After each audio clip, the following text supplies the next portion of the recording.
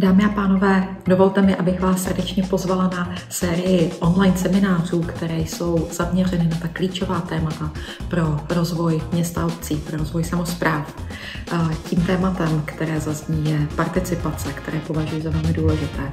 Je mi velkou ctí, že tyto semináře mohu zahájit, mohu uvést a poděkovat jak Národní síti zdravých měst, tak i aktivním starostům a radnicím.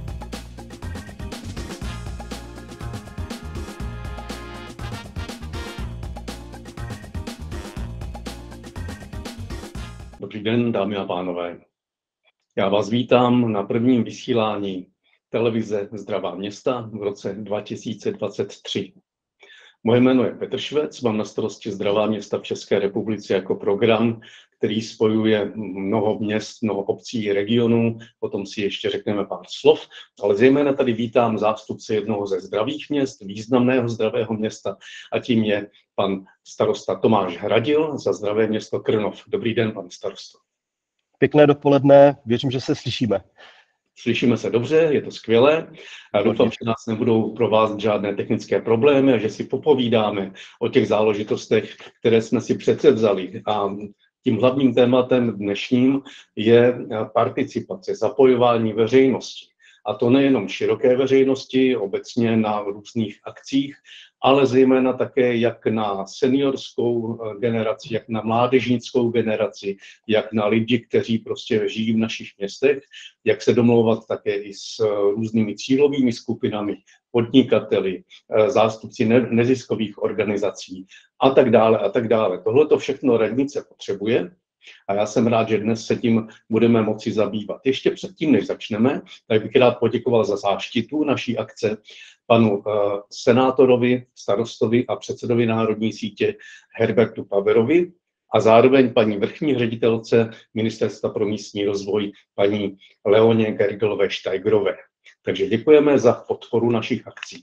Eh, my si tady budeme povídat v takových úsecích, které na sebe nějak logicky navazují. Eh, teď bychom tedy měli si říct možná úplně první informaci o tom, jak vidí pan starosta zdravého města Krnov vůbec tu situaci po volbách komunálních, jak to funguje v Krnově a prostě pár slov na úvod, než se pustíme do toho tématu participace. Jak to tedy vidíte, pane starosto? Tak ještě jednou dobré eh, dopoledne, zdravím všechny zástupce zdravých měst, zdravých regionů, zdravých krajů a zdravím i do kanceláře Národní sítě zdravých měst. Eh, u nás je ta situace poměrně jednoduchá. Asi budu stručný, než se pustíme do tématu participace u nás komunální volby dopadly tak, že v podstatě pokračujeme v téměř nezměněném složení.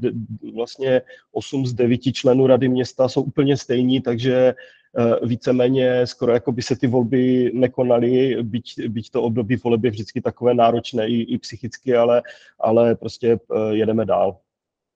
Je nový rok, co se vlastně odehrává teď takového úplně nového na začátku volebního období, na začátku nového roku v Krnově? Co byste vyzdvihli jako ty hlavní aktivity? Zmíním asi jednu věc, nebo možná dvě. První, ta, ta první věc není moc pozitivní. Já jsem si myslel, že po po těch třech letech, kdy, jsme, kdy, kdy nás trápil covid, pak válka na Ukrajině a inflační krize a obecně samozprávy mají méně peněz, tak jsem si naivně myslel, že budu mít trošku víc času a že tím, že těch projektů už se nemůže chystat tolik, tak uh, budu mít trošku, uh, trošku víc klidu, ale to se neděje. Pořád té práce je uh, extrémně hodně a pokud bych měl vypichnout jedno z mnoha témat, které teď aktuálně řešíme, tak to je téma aktivního stáří, připravujeme nějaký, jsme úplně na začátku, ale připravujeme nějaký koncepční materiál, bavíme se o tom, eh, jak vlastně co nejvíce seniorů eh, aktivovat tak, aby vlastně ten svůj eh, závěr života prožili aktivně. Ať si potom pod tím si můžete představit cokoliv, ale zkrátka, zkrátka žijeme ve městě, které trpělo asi čtvrt století velkým odlivem mladých lidí a tím trpí i právě ti seniori, protože jejich děti a jejich vnoučata a pravnoučata často žijí někde jinde a o to silnější téma to pro nás je. To velice rádi slyšíme, protože stárnutí populace je velkou výzvou pro celou společnost a samozřejmě pro města, protože lidé žijí ve městech, v obcích, v regionech a samozřejmě v konkrétních podmínkách se zabývat tím, jak dobře vtáhnout seniory do aktivního života, že to není pouze pasivní čekání na nějaké nedobré konce, ale naopak, že je fůra možností, jak aktivně žít mnoho let na závěru života, tak to je určitě velice dobré téma. Určitě se ještě dostaneme k tomu, jak o tom vlastně komunikujete se seniory. Já bych teď s dovolením tedy ukázal pár obrázků k tomu našemu seriálu, který dnes startujeme.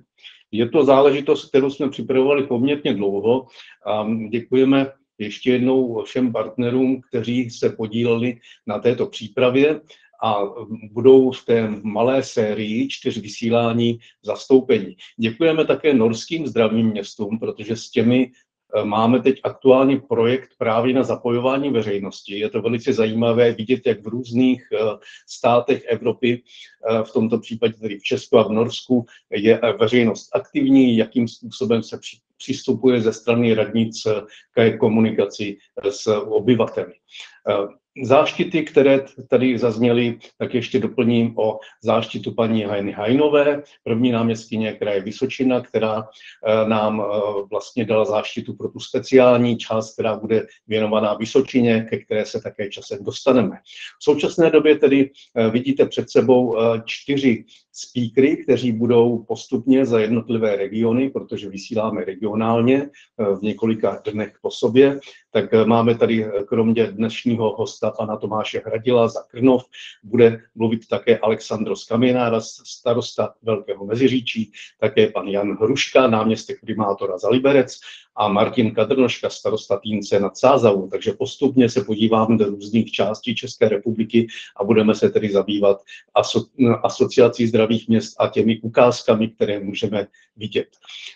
Po 30 letech téměř, kdy působí Mezinárodní program zdravých měst v České republice, tak máme skutečně s čím pracovat, protože radnic, aktivních radnic je naštěstí hodně, každá něco umí a každá může sdílet svoje zkušenosti, tak jak se snažíme i dnes. Pokud vás to bude zajímat více, pak doporučujeme adresu zdraváměsta.cz, protože tam je hodně dalších informací a děkujeme za spolupráci všem odborným partnerům, nejen ministerstvům, ale zejména také univerzitám, dalším municipálním asociacím, eh, nejčerstvějím Czech Investu, se kterým velice aktivně spolupracujeme, takže děkujeme všem, eh, kteří mají přízeň pro zdravá města a eh, oceňujeme navzájem to, že se dá šířit dobrá praxe. To sdílení se snažíme dělat různým způsobem, to znamená, co která radnice může ukázat, to se snažíme dát do naší databáze dobrá praxe CZ. Každý podzim je i facebookové hlasování, takže máte se opět na co těšit. Na Facebooku máme velkou skupinu hlasujících, takže skutečně desítky tisíc lidí vidí příklady dobré praxe z celé České republiky a jsme tomu velice rádi. A tak jak eh, to probíhá dnes, tak se snažíme v různých eh, tématech, v různých regionech vysílat také, také na YouTube a nebo jinými způsoby. No ale já se teď vracím, vracím zpět do našeho studia eh, virtuálního, protože pan Tomáš Hradil, starosta města Krnov, je ve své kanceláři a v naší kanceláři zdravých měst. A teď se právě dostaneme k tomu, co nás zajímá z hlediska těch eh, témat ehm, přímo konkrétních, které jsme si přece vzali. Pane starosto, když se tedy podíváme na zapojování veřejnosti, s tím má Krnov dlouholeté zkušenosti, dělali jsme nedávno i takovou analýzu pro Krnov, vlastně co se všechno děje a je toho veliký soupis. Co vy sám byste tak ocenil jako nejúspěšnější akce, případně eh, co byste řekl, že s čím mohou být také určité problémy, abychom to nenatírali pouze na růžovo? No, já bych možná na začátek řekl, že eh, pro mě to téma eh, participace není jenom, mm, nepovažuji ho jako jeden z nástrojů radnice, jeden prostě z desítek, ale já to beru tak trošku jako filozofii, a až bych s nadsázkou řekl, že to je životní styl, kterým se člověk musí řídit a vlastně eh, participace prostupuje všechny aktivity, které na radnici děláme. To si myslím, že je důležité a, a možná, možná řeknu, protože mě nejspíše poslouchají i někteří politici zdravých měst, nejenom koordinátoři, tak uh, možná řeknu věc, která s vámi trošku jako otřese, ale chci říct, že rozvoj vaší obce nebo vašeho města je mnohem důležitější než to, jestli vy budete ve funkci. Jo, a říkám to proto, protože v momentě, kdy budete dělat participaci a pokud je úspěšná, tak zapojete mnoho lidí do fungování radnice, oni mohou odhalit věci, které se vám nedaří, můžete zapojit víc lidí do vlastně i do komunální politiky a to všechno je dobře. Pokud se, eh, musíte se s tím smířit, protože pokud eh, se s tím nesmíříte, tak tu participaci nikdy dělat eh, nebudete dobře. V podstatě participace, když to řeknu ještě s jednou takovou nadsázkou, jako vyslat se do naha a projít, projít se po náměstí, protože opravdu je to o tom, že v podstatě maximum informací, které máte, tak zveřejňujete a, a zveřejňujete aktivně a snažíte se aktivně zapojit lidi. To je možná, možná na začátek takové, takový jako úvod k participaci. Vy jste přišel eh, do politiky, do místní politiky z biznesu a to přímo z oblasti marketingu. Eh, pomohlo vám to při, té, při tom startu na radnici? Určitě ano, já jsem měl takovou dvojí eh, zkušenost. Ta první byla opravdu biznisová, eh, eh, ta oblast PR mi samozřejmě pomohla, protože vím, jak komunikovat, aby, aby se to opravdu lidem ty informace dostaly, ale hodně mi pomohlo taky to, že jsem vedl a pořád ještě vedu poměrně velký sportovní oddíl, protože to je zase neziskový sektor a tam v podstatě musíte neustále vlastně zapojovat lidi, protože, protože jinak by ten oddíl nemohl fungovat. Takže to jsou dvě dobré zkušenosti, které jsem měl. A můžu se zeptat, jakého, jakému sportu se věnujete? Pořád ještě florbalu, byť já se přiznám, že už se mi podařilo ten oddíl předat mladým šikovným klukům, já už jsem tam spíš takový čestný předseda, chodím si zahrát už jenom úterky, s takovým, je to taková veteránská partička a pak, pak jdem na pivo, takže, takže florbal. No ale to je důležité, protože eh, jednak aktivní život, aktivní pohyb patří do zdravého města. Velice ovlivňuje zdravý obyvatel a město proto může hodně udělat. A zároveň je potřeba se na to dívat trošku z nadhledu koncepčně. Takže vím, že i vy v Krnově jste připravovali nebo máte eh, platnou koncepci podpory sportu. Jaká byla historie vzniku tohle dokumentu?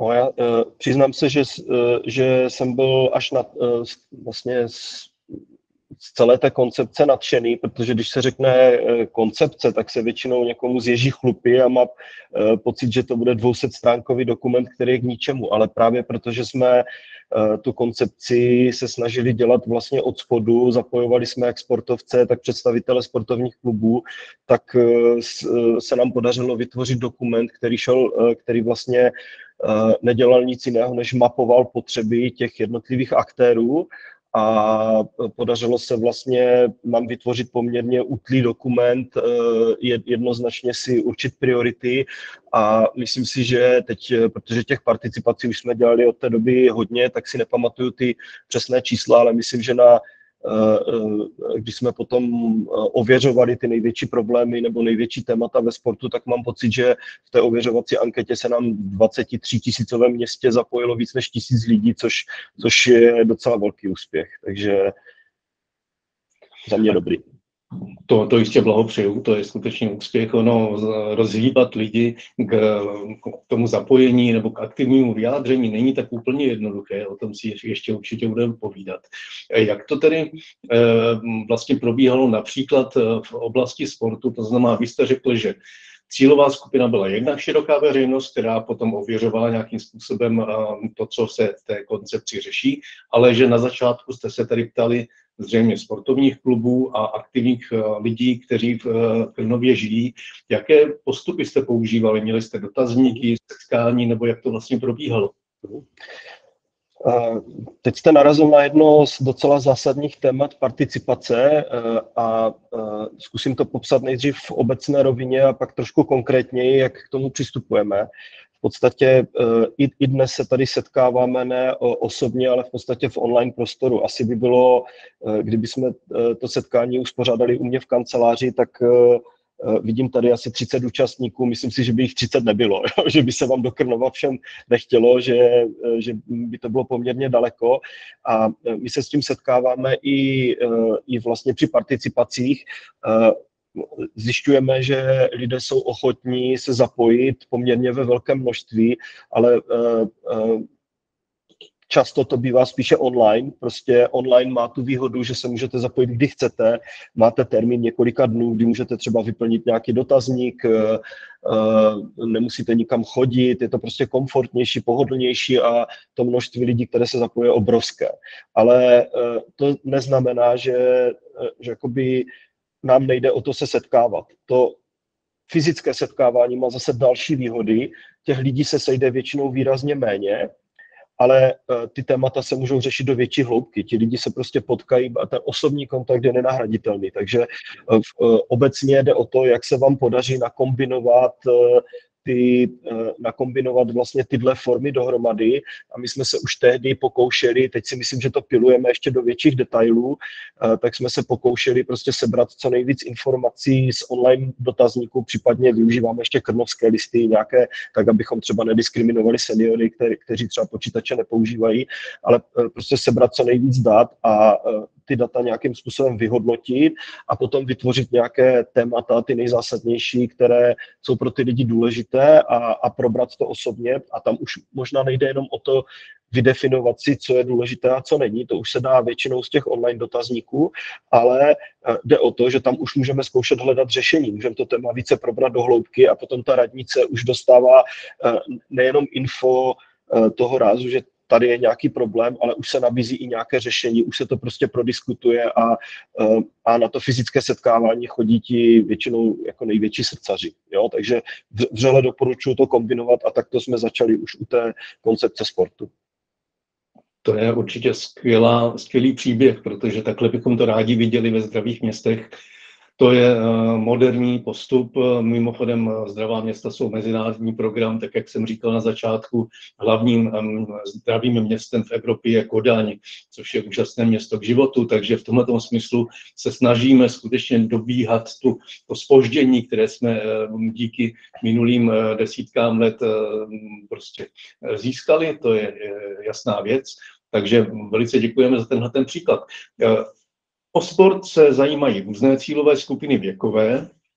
Jak to tedy je s těmi nejmladšími a mladými v Krnově, nejenom z hlediska sportu, ale i z hlediska jejich názorů vůbec na město? Zjišťujete jejich názory? My jsme, my jsme se začali uh, mládeži věnovat relativně nedávno trošku intenzivněji. Uh, podařilo se nám založit městský parlament dětí a mládeže a myslím, že se nám pak povedla ještě jedna docela unikátní věc. A to je, že se ten městský parlament dětí a mládeže stal oficiálním poradním orgánem Rady města, takže má statut komise. A, a e, dokonce jsme ještě, ještě se nám povedlo teď e, po volbách ještě jedna další věc, a to je, že někteří ti členové městského parlamentu dětí a mládeže tak eh, jsou členy i některých eh, tradičních komisí, dejme tomu komise prevence kriminality, eh, komise mm, pro životní prostředí jo, a dalších. A zatím se nám to velmi osvědčuje.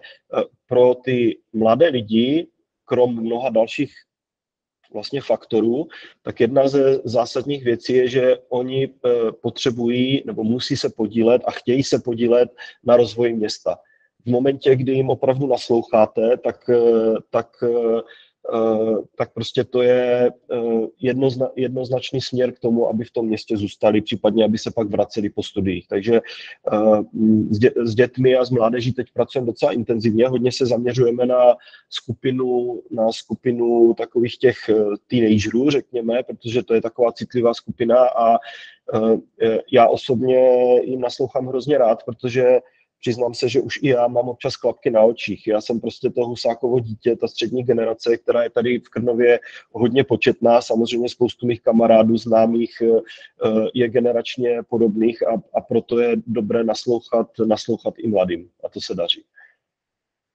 Máte pocit, že to má vliv na mladou generaci, jak se k ním radnice chová, jak se jich ptá a co se realizuje eh, i s jejich přispěním? Je to, je to vlastně aspoň podle naší zkušenosti, nevím, jestli mi to potvrdíte, pane starosto, tak by to měla být taková psychologická věc, která přitáhne trošku ty, ty mladé lidi k tomu městu, tak aby neutíkali, protože obecným problémem eh, těch eh, měst, která nejsou tak velká jako, jako krajská města například, tak je to, že je tam trošku odliv. Takže co si o tomhle to myslíte? Je to určitě tak, ale nesmíte zapomenout na jednu věc, že eh, participace je sice eh, věc krásná, ale vy potom musíte mít i ty výstupy. Jo? Jako pokud, eh, pokud s jakoukoliv cílovou skupinou budete debatovat, ale ten výstup potom není, tak, tak dřív či později, dřív či později se o, o ta, ta cílová skupina od vás odvrátí. Ale já myslím, že nám se to docela daří. My jsme se i soustředili třeba na nějakou změnu skladby nebo prostě rozvoj i nabídky kulturních akcí, protože ta mladší generace třeba eh, žánrově, hudebně poslouchá už úplně jiné, jiné žánry než, než třeba střední generace, takže to se, da, to se docela dařilo a když, když prostě těm mladým lidem nasloucháte a dokážete realizovat potom dějí, tak, tak, tak jsou spokojení. Máme tady rovnou dotaz v chatu, děkuji Ivě Hajkové, která se ptá, jak staré děti máte v, měst, v městském parlamentu a pokud mají statut z komise, ten městský parlament, vztahuje se na ně i jednací řád komisí nebo finanční ohodnocení členů komisí? To je zajímavá praktická otázka. A, tak co se týče věku, já teďka eh, jako vám neřeknu úplně jako přesně ty ročníky, ale tak jak eh, ty děti, eh, tak jak vím, tak jsou to děti zhruba, jako nejčastější, nej, nejčastější skupina je nějakých 14 až 18 let. Jo? To je jakoby jádro toho městského parlamentu, jsou to opravdu teenagery. My jsme moc nechtěli míchat teenagery s úplně malými dětmi, nicméně neznamená to, že s malými dětmi nekomunikujeme, oni mají ještě ty uh, školské parlamenty v jednotlivých školách, plus ještě máme, máme vlastně eh, takový režim, že kterákoliv škola, kterákoliv třída, eh, tak o to požádá, tak my děláme prohlídku radnice a v momentě, kdy přijdou eh, na radnici, tak chodí i do kanceláří vedení města a a ptají se mě na všechno, ptají se i místo starostů, mají prostě, takže ten kontakt s nimi udržujeme i touto cestou, ale městský parlament dětí a mládeže jsou primárně teenageři odměňování jsou, eh, jsou tak, jako, tak jako v jakýchkoliv jiných, eh,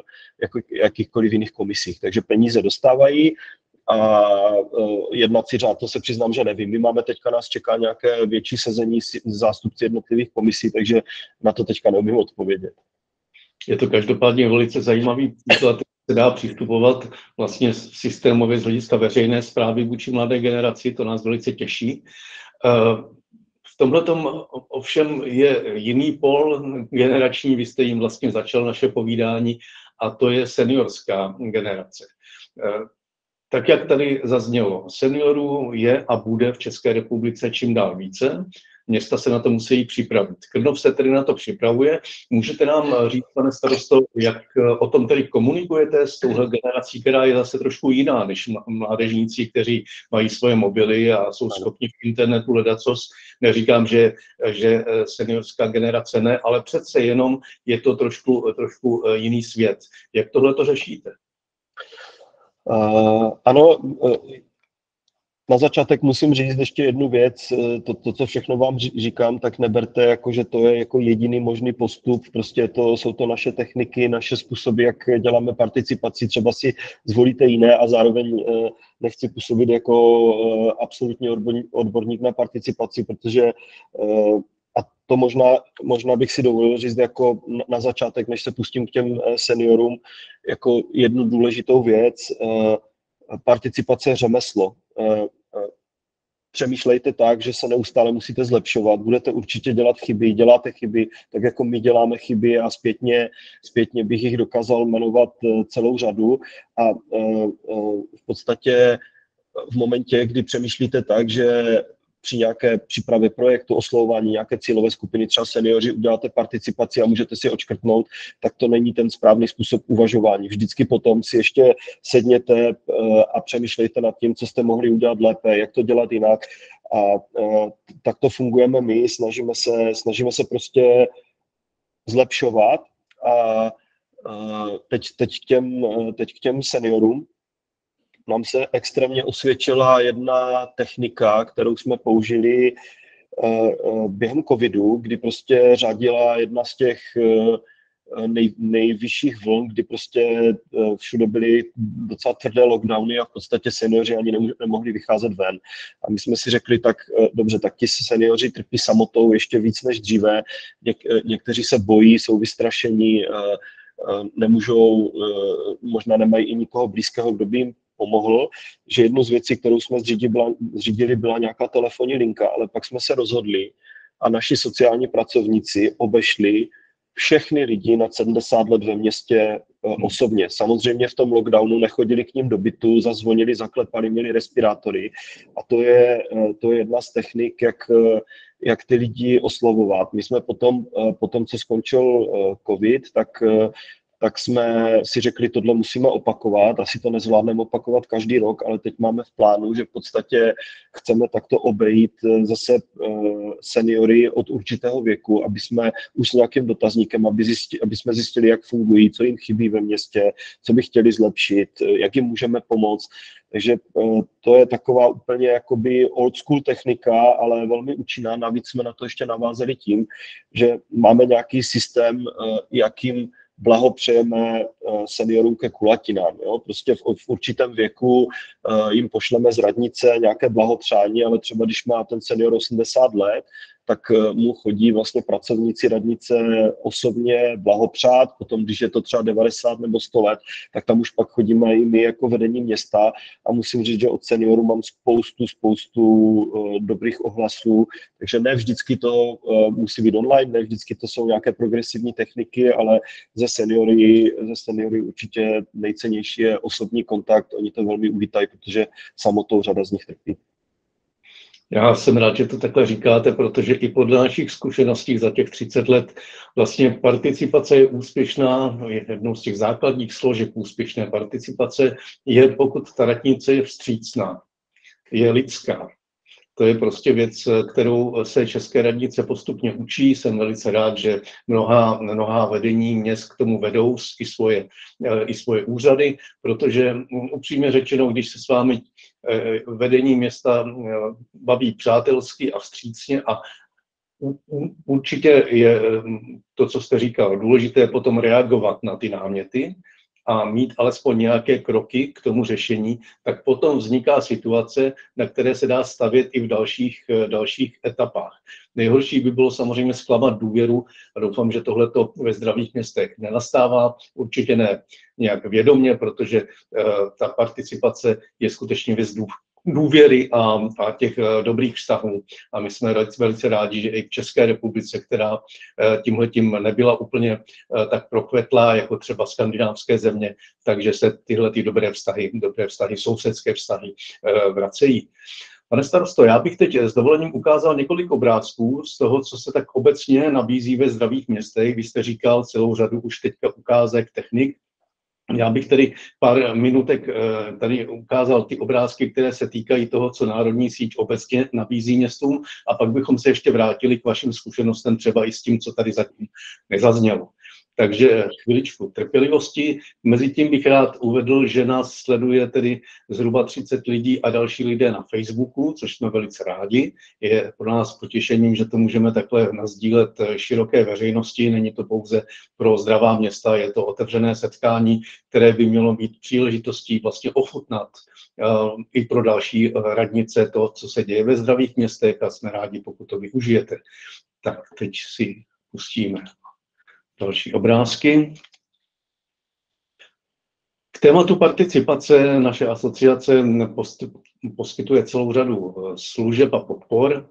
Eh, takovou velkou akcí, kterou jsme zavedli už před desítkami let a úspěšně se realizuje, i když s přetržkou samozřejmě přes COVID, tak jsou velká setkání s veřejností, když se podíváte jako z vrtulníku na celé město a díváte se na všechna témata, tomu říkáme Fórum zdravého města, souvisí to s filozofií udržitelného rozvoje, kdy musíte vlastně sledovat všechna témata, žádné není jaksi nad těmi ostatními a vy se ptáte veřejnosti na to, co, si jim, co je trápí v dopravě, ve školství, v životním prostředí, v sociální oblasti a, a tak dále a tak dále. Takže to jsou propracované techniky, které jsou celkem úspěšné Podobně jsme eh, potom zavedli školní a mladá fóra. Něco takového probíhalo i v Krnově a probíhá to v eh, řadě, v řadě dalších měst.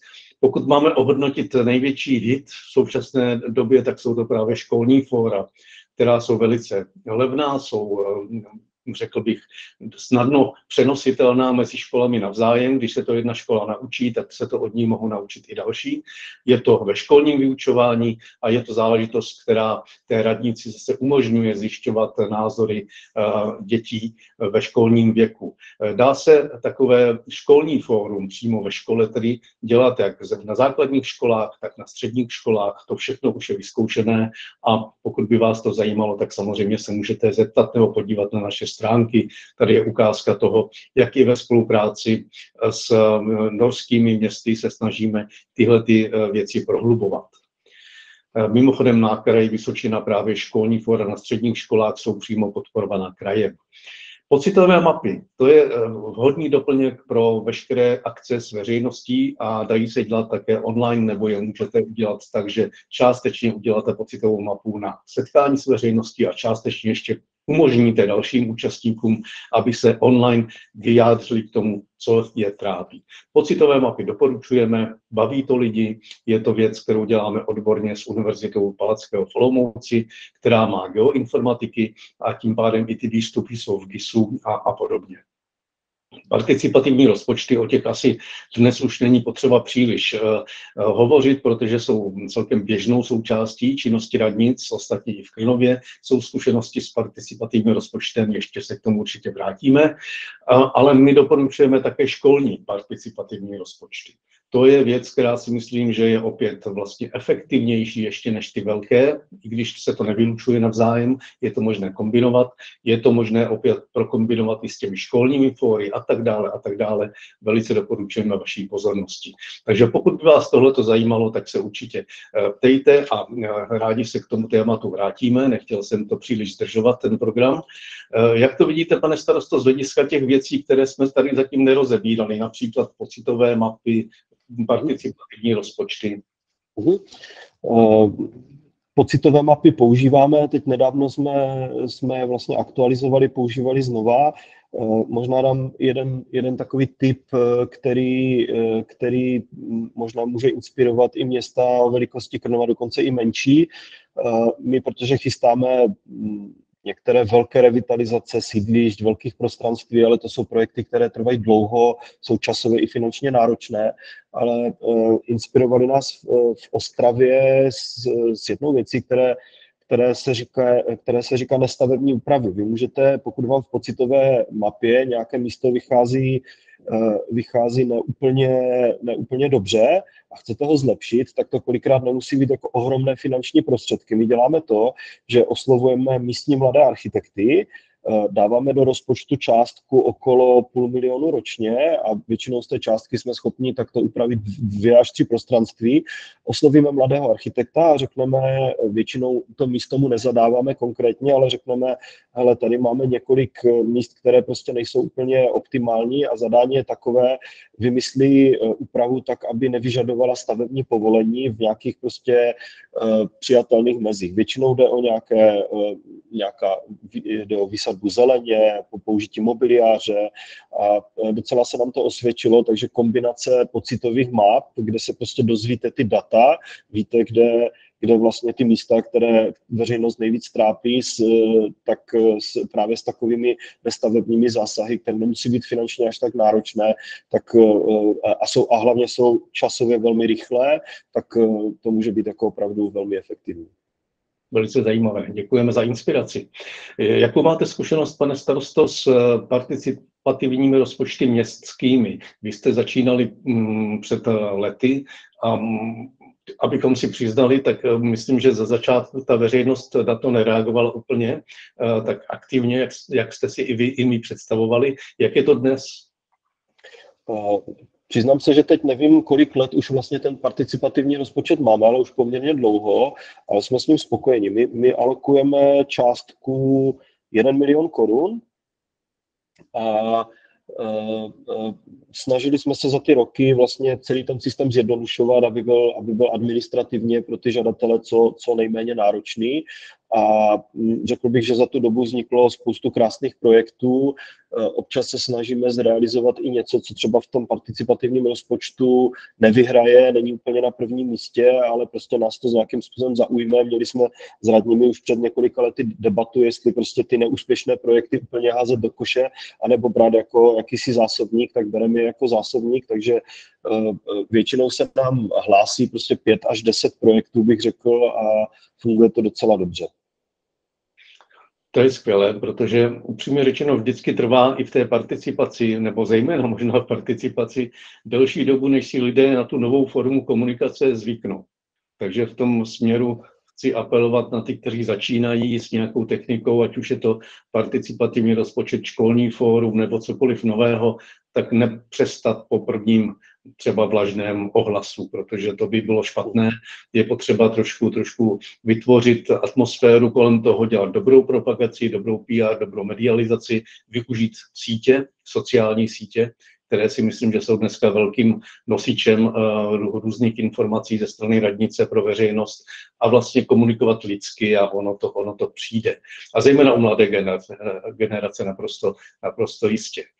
Eh, kdybyste měl eh, eh, říci, pane starosto, jestli jste se tedy inspirovali kromě Ostravy ještě od někud odjinut, ať už zdravých nebo dalších měst, co vás tak zaujalo a vlastně přenesli jste to do Krnova. Nás tohleto, tohleto vždycky fascinuje, jak je možné vlastně mezi městy spolupracovat, protože to na první pohled vypadá, že se nic v České republice zajímavého neděje a ve skutečnosti každé město něco umí a každé město, v každém městě je možné cokoliv obsat v dobrém slova smyslu. Jak to, jak to vlastně využívá Krnov?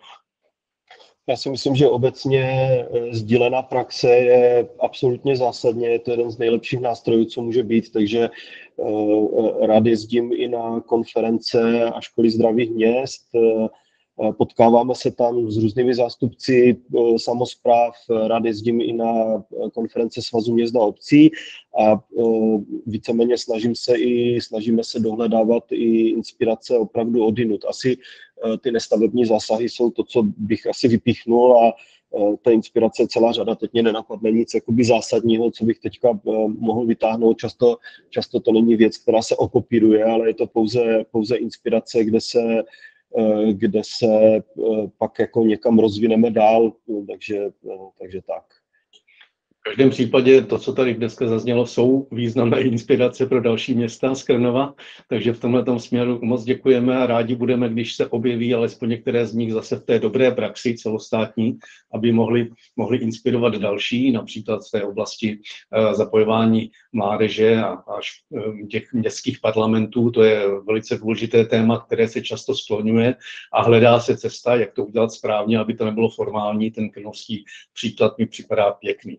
Kdybyste dovolili, přátelé, tak já bych teď ukázal ještě zase dalších pár obrázků, které nás možná dovedou k nějaké ještě uh, diskuzi z jiného pohledu na rozvoj města, protože participace je jedním z velice důležitých zdrojů informací, dat, které využijete pro to, jak máte nějakou část nebo, nebo celé město rozvíjet ale je potřeba mít ještě jiné zdroje, takže se ve zdravých městech o to snažíme.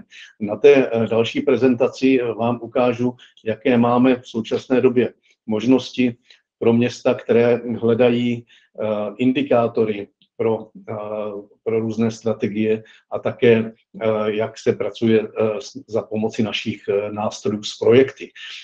My jsme velice rádi, že se nám podařilo během posledních let vlastně uspíšit spolupráci s našimi národními partnery, jako je Český statistický úřad, eh, ÚZIS, eh, jako je Czech Invest, eh, státní pokladna ministerstva financí. Se všemi máme dohody o spolupráci a dolujeme každým rokem data pro města. Máme v současné době určité sady dat podle témat udržitelného rozvoje a dokážeme také města interně, to není žádná soutěž, mezi sebou porovnávat. Je to spíše strategická hra, abychom věděli, jak je na tom eh, průměr republiky, jak jsme na tom my a jak je na tom třeba případně nějaké podobné město, které nás zajímá. V tomto smyslu samozřejmě je potřeba se na to dívat za podpory expertů, takže jsme rádi, že Univerzita Karlova nám dělá vlastně background pro všechny tyhle benchmarky a podobná indikátorové záležitosti. Eh, snažíme se, aby, a kvůli tomu také o tom mluvíme dnes na participaci, aby o tom věděla veřejnost. Takže město se může v našem systému některými čísly chlubit nebo s nimi uh, o nich informovat veřejnost, je to na rozhodnutí města, ale v každém případě je to velice zajímavé, aby veřejnost věděla, jak jsme na tom, jak jsme na tom i oproti kraji například a tak podobně.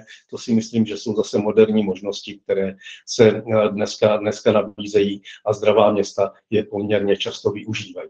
Druhá věc, eh, na kterou chci upozornit, je práce s projekty, protože strategie je velice důležitý konstrukt, ale kdybychom neměli pod, nimi, pod těmi cíly, které máme ve strategii, ty projekty, které realizují a posunují město kupředu, tak bychom měli pouze konstrukt. Projekty, to je skutečně ta soustava svalů, které vás mají do, do, dovést k lepší budoucnosti. Jsou v nich veřejné zdroje, a e, je to věc, která skutečně je nezbytná. Takže dát dohromady ty cíle strategické a projekty je pro nás základní výzva a snažíme se to i v rámci e, našich e, systémů, které zase zdravá města mají k dispozici. A také chceme projekty ukázat veřejnosti. Takže galerie projektů, opět velice jednoduchý systém, který hezky obrázkově i v mapě ukáže, co město plánuje, jakým způsobem s projekty pracuje. Každé město si to samozřejmě může dělat po svém. Pokud zdravé město chce, má k dispozici celkem silnou IT podporu pro tuhletu eh, činnost eh, v rámci našich, eh, našeho systému dataplán. Tak to jsem chtěl ukázat jako ještě další pohled na rozvoj města. Pane starosto, vy máte strategii rozvoje města, máte řadu koncepcí. Jaké zkušenosti jsou právě při té práci se strategiemi a koncepcemi. Eh, máte pocit, že ta, to zavádění do praxe, čemu se říká implementace, to, to znamená vlastně i kontrol, controlling a různé procesy, které s tím, eh, které s tím um, souvisí, abychom měli představu, jak ta strategie žije a jak se realizuje, tak máte pocit, že české radnice to mají dobře zvládnuté, jak to máte v Krnově třeba?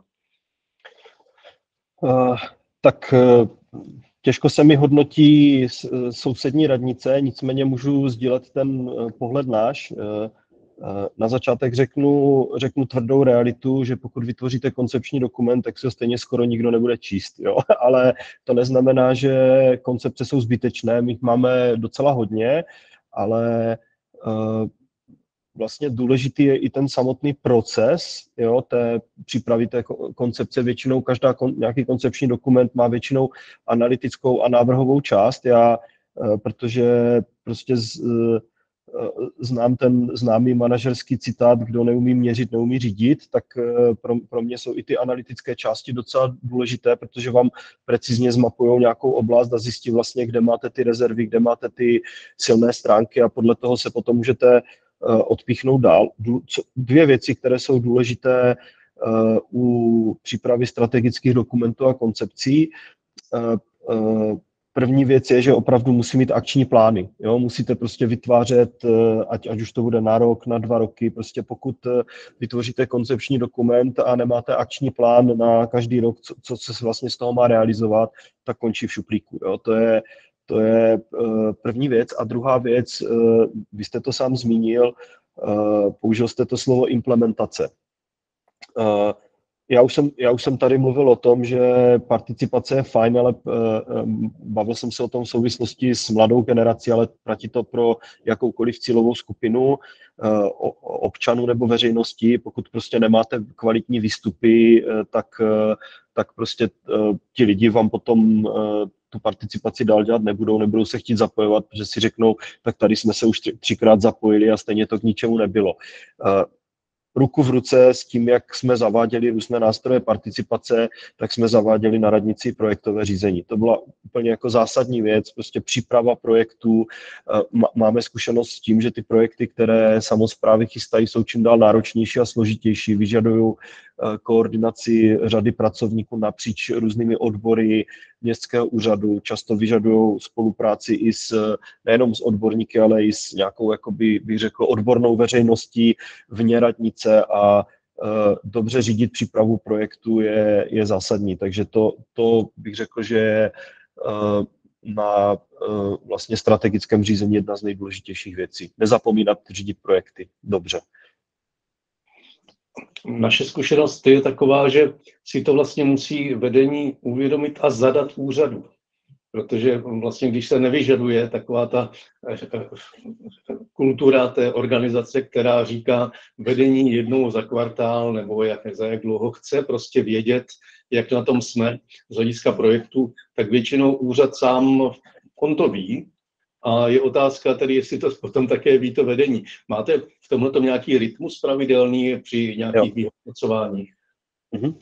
Tak možná ještě bych na začátek eh, řekl, že v momentě, kdy se bavíme o nějaké otevřenosti, participaci směrem ven, tak to musí fungovat i směrem dovnitř. Jo? To znamená, eh, eh, radnice, městský úřad, obecní úřad, záleží, jak je velký, někdy je malinký, někdy je větší, ale jsou vždycky dvě pyramidy. Jedna pyramida je ta politická, kde vlastně na vrcholku je vedení města a druhá je ta úřednická a v podstatě základ je si nic neskrývat. Jo? To znamená třeba mi úplně jednoduchá technika, která ale si myslím, že pořád ještě není úplně všude standard, je, že, že máme, uh, máme vlastně každé pondělí poradu, kde je vedení města, kde je pan tajemník, uh, tisková mluvčí, říkáme si, co jsme celý týden dělali a co budeme dělat, sdílíme si informace a uh, tisková mluvčí navíc z toho vlastně tvoří nějaké reporty na, na webové stránky, takže v podstatě všichni ví, všichni ví, čím se zabýváme, takže v podstatě sdílení informací dovnitř je zásadní pro to, aby to fungovalo. Pak samozřejmě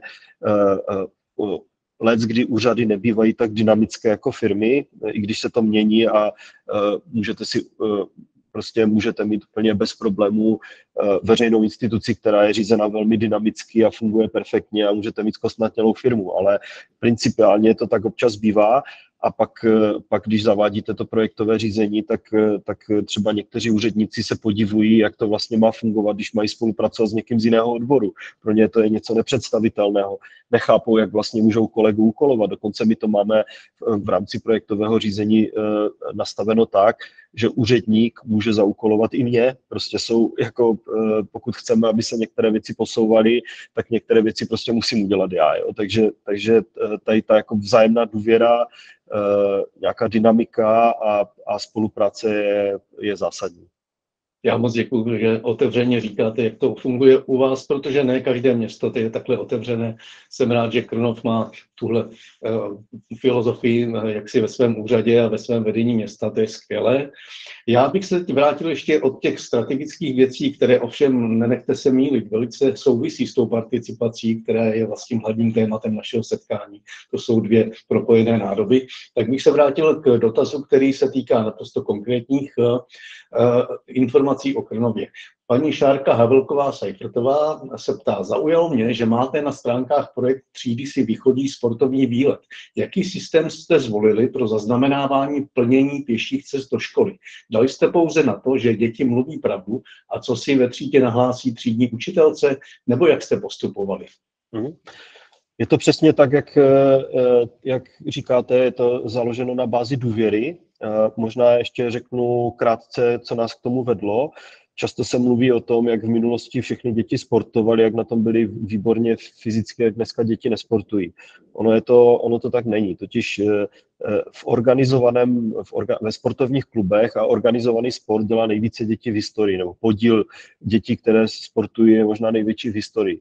Problém je, že se nám ty děti málo hýbou, protože pokud vám uh, ta, vás tatínek nebo maminka doveze do školy autem, na trénink autem a, a vy pak se hýbete jenom organizovaně, tak toho pohybu máte násobně méně, než měli děti, když já, třeba když já jsem byl malý v 80. letech a trávili jsme 3-4 hodiny venku. Takže náš cíl je, je v podstatě ty děti trošku rozhýbat, každý krok, který udělají pěšky, tak je dobrý a ten projekt je na tom založený. Je založený opravdu na důvěře, protože vlastně inspirujeme se projektem 10 000 kroků, který je výborný, je taky založený na důvěře, na vlastně samoreportování těch jednotlivých účastníků. Vedou se tam eh, mezi organizátory a účastníky obrovské diskuze, jestli to někdo šídí, nešídí, ale víceméně ten projekt je skvělý a funguje i na, na bázi důvěry.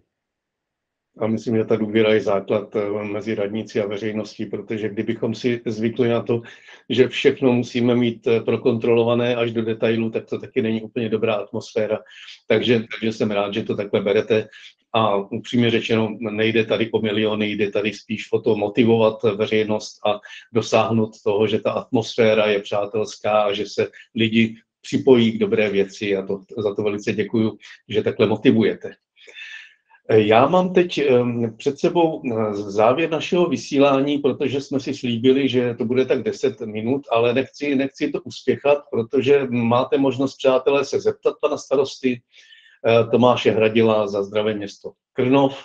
Máte možnost eh, se dívat na naše vysílání jak na Meetu, který je vám otevřen i z hlediska chatu, tak na Facebooku který sledujeme, kdyby se tam náhodou který objevil nějaký dotaz, tak to samozřejmě také ozvučíme. Takže je to možnost, pořád si ještě můžete vzpomínat, eh, co byste se chtěli eh, o Krnově dozvědět. Já jsem se chtěl zeptat eh, v té závěrečné části, pane starosto, na vaše plány. Co město vlastně vidí, jsme na začátku volebního období, co vidíte v tom střednědobém horizontu jako takové úkoly pro Krnov? No, eh, mohl bych tady o tom mluvit eh, hodiny, hodiny, ale eh, momentálně jako jedno z těch, eh, z těch jako dvou zásadních témat, které bych zmínil, tak je eh, bydlení, protože myslím si, že se s tím trápí spoustu měst, že v podstatě eh, ty jako standardy toho, v čem chcou lidé bydlet a na jakém prostoru se neustále jako zvětšují, takže takže ve finále prostě je jenom velmi málo měst v republice, které mají dostatek bytů a parcel pro rodinné domy, takže na tom hodně pracujeme. Nebojíme se v tom eh, spolupracovat i s developery, takže tady bychom se ještě chtěli eh, zlepšit.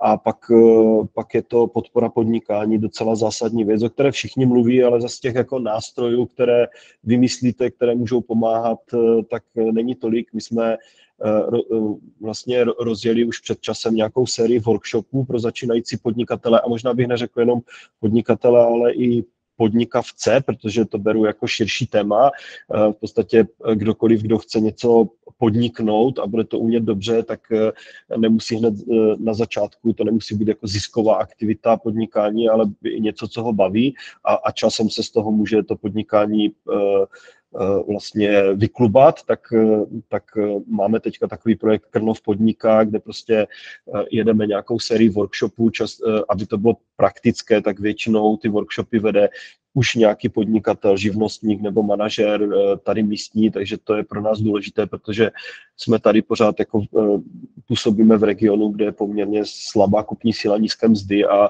vlastně ten rozvoj podnikání je pro nás zásadní. Takže to jsou takové dvě věci, na kterých pracujeme. Možná, jestli byste eh, dovolili, abych ještě, protože mám eh, tady nějaké dvě, tři poznámky k participaci, tak ještě pár zkušeností, tak bych klidně zmínil. Eh, často, jste, často se té participace, jak politici, tak i, tak i pracovníci radnic bojí a, a říkají si, no teď ale ti lidi vymýšlí často hrozné blbosti a my je budeme muset realizovat. Jo. Eh, dost zásadní věc, kterou chci říct, je, je ta, že eh, participace neznamená, že máte vyhovět všem. To tak není, často i ty pohledy lidí jsou protichudné, jeden by chtěl to, druhý zase ono. Je to o tom mít co nejlepší informace k rozhodování. Jo, vy dostanete od veřejnosti spoustu dát a nějak se s nimi vypořádáte. Můžete prostě z těch připomínek zapracovat třeba jenom 10% nebo žádnou. Můžete jich zapracovat uh, uh, zapracovat 100%, takže, takže je to na vás, to je docela důležité.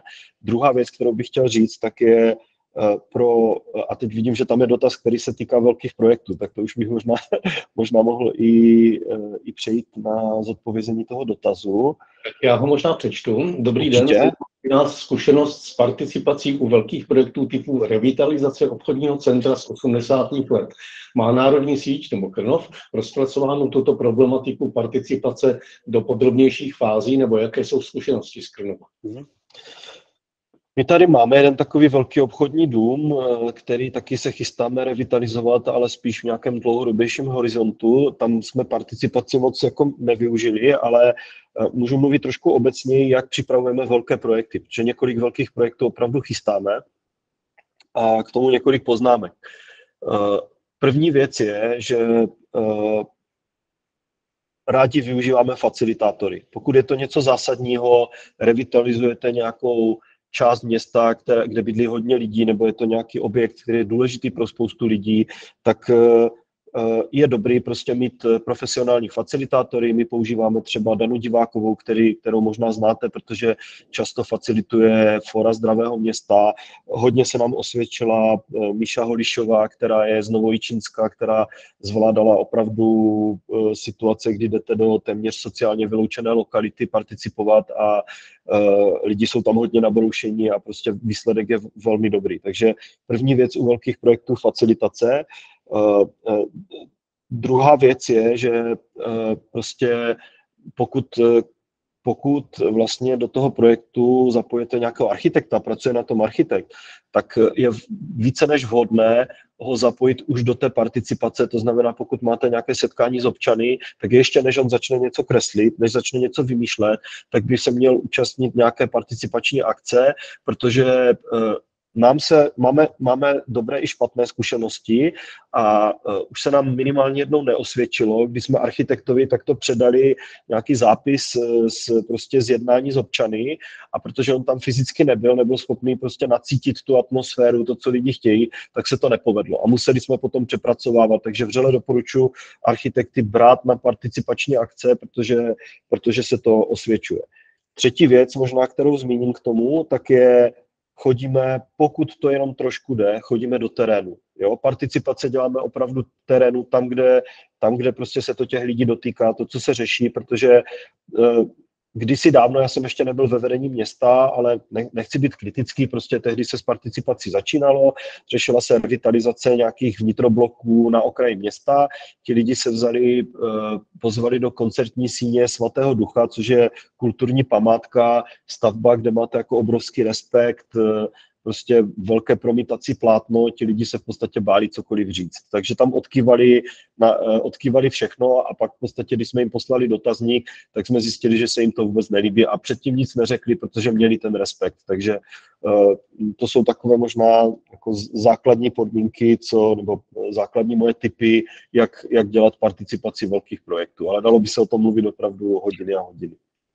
A já to podepisuju a je to skvělé, že to říkáte přesně na tomhle příkladu. Je to psychologie, e, není to úředničina. Je to záležitost nikoli pouze o informacích, ale o atmosféře, o emocích, které se tam odehrávají a v tom okamžiku právě to místo, které se má přetvořit na něco lepšího, tak je přesně tím správným prostředím, kde je dobré diskutovat o tom, jak to má dopadnout. Takže v tomto směru děkujeme za, za tuhle zkušenost. Je tady ještě jeden dotaz, kterým se dostáváme ještě k tomu, co tady možná zaznělo, ale přesto. Dobrý den, zajímalo by mě, zda Krnov schválil obecná pravidla a něco jako závazek vyčlenit pravidelně v rozpočtu města pro participativní rozpočet nějakou finanční částku v zastupitelství. Děkuji. My na to nemáme nějaký speciální dokument, my prostě schvalujeme rozpočet a pokaždé tam dáváme milion. Takže tak, tak, jsme, tak jsme zvyklí. Přiznám se, že teď, když jsem dostal ten dotaz, tak přemýšlím nad tím, jestli třeba tu částku do budoucna ještě nenavýšit s ohledem na to, že v podstatě stavební práce prošly dost taky dramatickým navyšováním. Ta inflace byla vysoká i, i právě v oblasti stavebnictví a protože dost velká část těch akcí Eh, jsou různé, eh, různé prostě stavební prvky. Teď jsme poslední úspěšný projekt bylo eh, psí hřiště, předtím to byly různé typy dětských hřišť, a, a, takže takže budeme se nad tím muset zamyslet, jestli tu částku nenavýšit, ale nemáme žádný závazný dokument. Ve finále, ve finále i kdyby zastupitelstvo schválilo nějaký závazný dokument, tak tím klíčovým dokumentem je potom rozpočet města. Pokud prostě v tom rozpočtu ty peníze nemáte, tak těžko můžete něco realizovat. Takže, a, a musím říct teda, že v Krnově, byť samozřejmě taky zastupitele se různě mění po volebních obdobích, Eh, mění se občas i lidi ve vedení města, ale participativní rozpočet je něco, co tady funguje dlouhodobě, nikdo to nekritizuje, všichni jsou spokojení, že to funguje a eh, ještě jsme zkusili v těch posledních letech eh, i ve spolupráci s Kofolou, místní firmou, tak rozjet participativní rozpočet pro děti na školách, takže to byl takový pokus, který si myslím taky byl docela úspěšný, takže u nás to prostě funguje. To je skvělé a děkuji, že jste zmínil právě to, ty podobné aktivity jako pro širokou veřejnost, tak udělat na školách, protože tam je to zase ještě jiné prostředí a ty projekty nemusí být tak obrovské, ale mohou být velice zajímavé a motivační pro mladou generaci. Je tady ještě eh, dotaz na velice citlivou věc, která se v participaci řeší, participaci řeší a řeší se vždy složitě, protože to naráží na určité společenské eh, vlastně eh, nastavení v České republice. A ten dotaz zní, před participací investice je nezbytné si zjistit regulace územního plánu a limity v území z územně analytických podkladů, inženýrské sítě, chráněné prvky, životní prostředí a památky. Tak to je spíše tedy poznámka a správná, děkujeme, to je, to je naprosto správné. Ale ten dotaz, který se týká trošku kolizní věci, je, mám zkušenosti, že ve veřejném prostoru lidi zajímá nejvíc, jestli budou moci parkovat nejlépe před svým domem. Jak se s tímto vypořádáváte? Tak to by nás zajímalo, protože s tím bojuje každé město. Máte s tím zkušenosti v Krnově? Máme s tím spoustu zkušeností a vypořádáváme se s tím velmi těžce. Jo? Eh, eh, Krnov je město, jak už jsem říkal, má 23 tisíc obyvatel a eh, pro běžného krnováka, eh, pokud eh, v pátek odpoledne na kruhovém objezdu čeká minutu nebo dvě na průjezd, tak pro něj to je kolaps dopravy. Jo? jo, prostě ti lidi tady byli zvyklí, že zaparkovali kdekoliv, projeli městem pohodlně, ale posledních 10-15 let prostě ten uh, nárůst aut v ulicích je extrémní. My zrovna teďka máme Eh, na, budeme spouštět výběro, výběrko na novou pozici koordinátora městské mobility, protože jsme tady na radnici neměli někoho, kdo by se jako cíleně věnoval dopravě a udržitelné mobilitě a těch témat se nám tady kupí, kupí, kupí a opravdu eh, tak, jak je ten dotaz položený, tak eh, to máme zkušenosti, v participaci s tím máme zkušenosti. Eh, lidi se dělí do dvou kategorií, jedni by vykáceli, a teď to přeháním, jo, jedni by vykáceli všechny stromy a eh, zrušili všechnu zeleň a udělali ze sídliště jedno velké parkoviště. A pak jsou, pak jsou lidi, kteří by prostě zase prostě měli všude zeleň a, a nikde neměli parkoviště. A manévrovat v tomto je velmi obtížné, nicméně, jak jsem říkal, participace není o tom, že, že všem lidem ve všem vyhovíte, Prostě je to pozbírání co nejvíce informací a my se teď snažíme třeba dělat i kompromisy v tom, že začínáme budovat e, zelené parkoviště. Jo? To znamená, děláme parkoviště se e, propustnými povrchy, kde ještě sadíme prostě k ním stromy. E, je to nějaký kompromis, ale žádné žádné dokonalé řešení pro vás nemám, protože, protože opravdu jako v situaci, kdy průměrná domácnost má prostě dvě, tři auta, tak, tak se to město rozvíjí dost, dost těžce. No. Děkuji za tu zkušenost z Krnova samozřejmě je to zkušenost podobná z mnoha zdravých měst a přináší to doba, přináší to uh, zakařeněná představa, že vlastně parkování a nejlépe zdarma a nejlépe před svým domem je téměř občanské právo, což tedy zdaleka tak není. A v tomto smyslu se ještě dlouho budeme vyvíjet. Takže držme si palce, ať to není jak dramatické, ať se dohodneme mezi sebou a ať nemáme vnitřní městské války kvůli parkování. To by bylo velice smutné. Každém případě moc děkujeme za aktivní uh, diskuzi v chatu, děkujeme za náměty, které tam zaznívají. Je to skvělé, že máme uh, tady auditorium, které uh, zajímá dnešní program. Vzhledem k tomu, že jsme naplnili tu hodinku, kterou jsme si slíbili a mám před sebou ještě takový závěrečný miniblok, obrázků, tak bych teď rád velice poděkoval panu starostovi Tomáši Hradilovi do zdravého města Krnova. Kdyby jsme byli ve fyzickém sále, je tady velký potlesk, pane starosto, protože, protože to bylo výborné, moc děkujeme za vaše zkušenosti a těšíme se na spolupráci a doufám, že se fyzicky uvidíme na akcích Národní sítě zdravých měst. Ještě jednou díky. Já děkuji za pozvání a kdyby kdokoliv z účastníků měl ještě nějaký jakýkoliv dotaz, tak uh, protože tady máme čas omezený, nebojte se mi ozvat třeba mailem, telefonicky na webových stránkách města jsou na mě kontakty, takže jsem k dispozici. Mějte se pěkně. Skvělé, moc děkujeme. A nebo přijďte na akce zdravých měst, tam si můžete odchytit pana starostu naživo a samozřejmě i další zástupce Krnova a je to, je to velice dobrá příležitost, protože ta osobní diskuze je vždycky, vždycky lepší a přínosnější. Tak ještě jednou děkujeme do Krnova a já spouštím obrázky, které nás dostanou ještě do určitého ohlédnutí nad tím dnešním seminářem. Tak Tohle je schrnutí toho, co v rámci zdravých měst eh, můžete získat jako podporu pro facilitaci. Je toho poměrně hodně, je to záležitost které, eh, forem, které jsou vyzkoušené, facilitátorů, kteří jsou zdatní a zkušení a mají za sebou stovky a stovky akcí. A samozřejmě těch nových technických možností, jako jsou elektronické ankety, ale i online šablony pro plakáty na akce, a tak dále a tak dále a tak dále. Eh, mnoho našich eh, členů realizuje eh, participativní rozpočty, ať už dospělácké nebo na školách, takže i o tom si velice často povídáme. Všechno se to vyvíjí a budeme rádi, že budete čerpat jak ty služby, tak to know-how. Dále ještě chci tedy jednou upozornit na to, že se snažíme veřejnosti ukázat i projekty města v rámci našeho dataplánu. Je to velice elegantní, pěkná služba, která vlastně navazuje přímo na zásobník projektů města, ze kterého si můžete vybrat ty věci, které chcete veřejnosti ukázat, podobně jako data, která jsou o vašem městě a srovnání s krajem. Takže tyhle ty věci si můžete opět eh, jaksi přát v rámci Národní sítě zdravých měst. To, co eh, vidíte teď, doufám, jsou uh, obrázky, které se týkají našich celostátních akcí. Zveme vás do Rožnova pod Radoštěm na konci března, do Mariánských lázní v červnu a do Ostravy na podzim, kde se opakují další ročníky našich škol. Rožnovská škola jarní bude už 60. v historii národní sítě, což je veliké číslo za té léta a jsme rádi, že stále více a více lidí jezdí na tyto akce.